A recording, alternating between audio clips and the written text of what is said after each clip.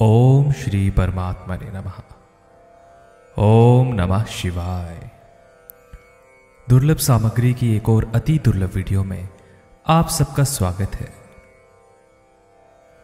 Corona virus की इस महामारी के चलते आप सबसे मेरा अनुरोध है कि कृपया अपने घर पर रहें और जितना हो सके अपने आप को व अपने परिवार को सुरक्षित रखें। आज की जो वीडियो है, यह इस बारे में है कि किसी भी व्यक्ति को अगर हासिल करना है, या आप उसे प्रेम करते हैं, किसी प्रकार से भी आप उसे पाना चाहते हैं, अगर सच्चा प्रेम आपके दिल में किसी के लिए उमड़ रहा है तो किस प्रकार से उसे आप हासिल कर सकते हैं, किस प्रकार से उसे आप अपना बना सकते हैं? याद रखिए, संसार में दो चीज़ें होती हैं। एक हमारे मन की अथवा उस ईश्वर के मन की। यदि हमारे मन की नहीं होती, किसी प्रकार से हम किसी को चाहते हैं और वो हमें नहीं मिल पाता तो याद रखिए कि उस ईश्वर के मन की हो रही है और जब उस ईश्वर के मन की बात होती है तो वह कभी गलत नहीं होती।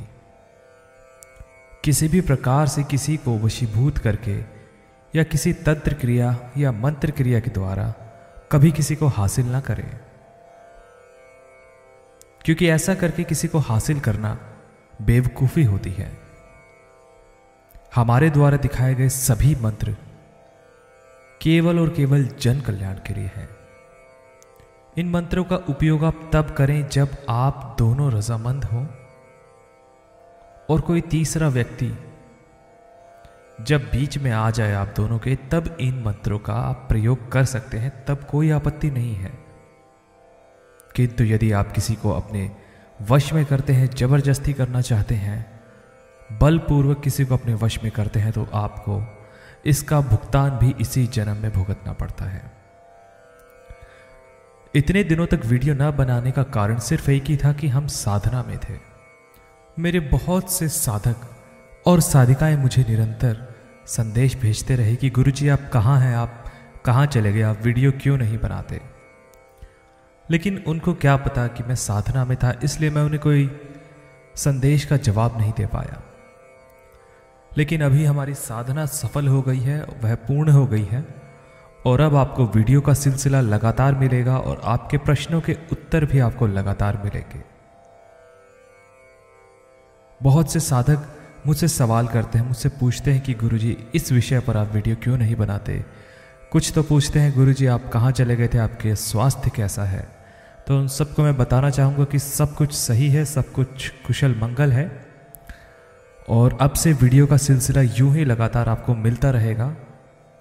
एक साधक है, बहुत समय से वो आकर्षण पे वीडियो चाहते हैं। तो उनको मैं बताना चाहूँगा कि बहुत जल्द आपको वीडियो मिलेगी जो कि आकर्षण के ऊपर होगी।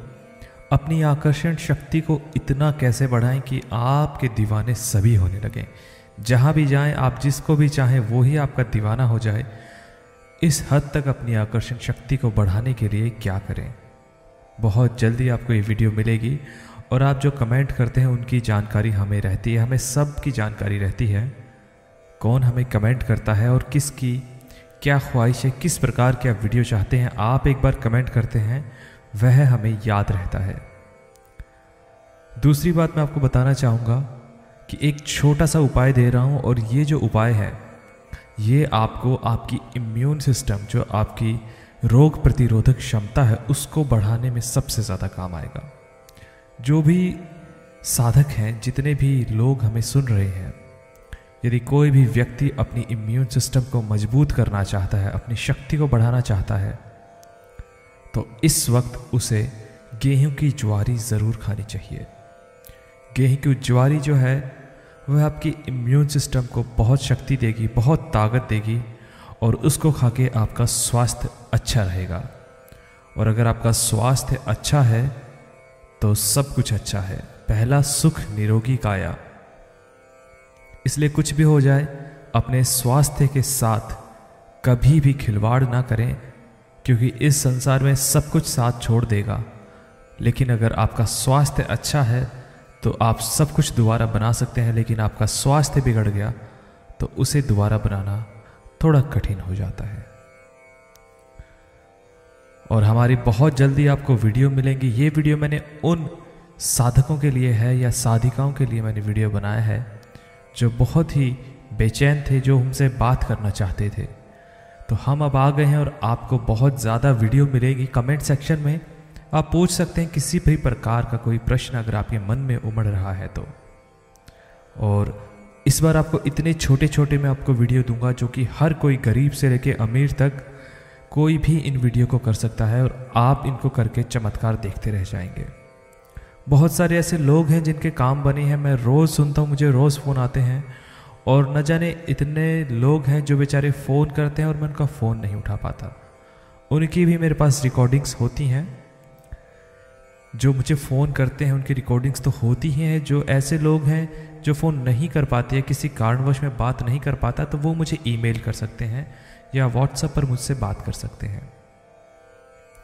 बाकी इन्हीं शब्दों के साथ मैं विदा लेना चाहूँगा। लेकिन हमेशा की तरह मैं आपको आज फिर से कुछ उन लोगों से मिलाना चाहूँगा जिनका काम बना है और वो कितने खुश हैं। तो आप एक बार देखिए, सुनिए उनकी बात उन्हीं की ज़ुबानी और आपके मन में कोई भी सवाल अगर आ रहा है तो वो कमेंट सेक्शन के माध्यम से आप मुझ तक ज़रूर पहुँचाइए। मैं उसका उत्तर आपको ज़रूर दूँगा। ओम नमः शिवाय।